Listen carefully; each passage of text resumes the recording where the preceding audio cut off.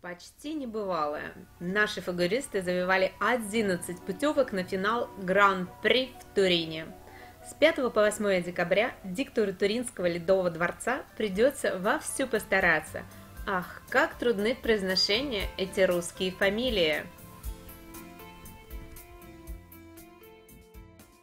И самый большой интерес, конечно же, к.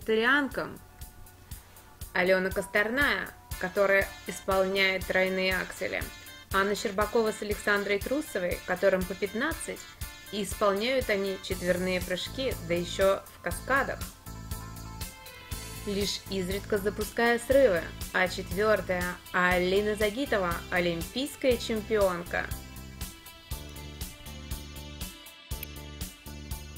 Только девчонки сошли с пьедестала и снова за работу – Гениальные тренеры Терри Тутберидзе на, на катке «Хрустальный» добилась уникальных результатов именно с юными талантами.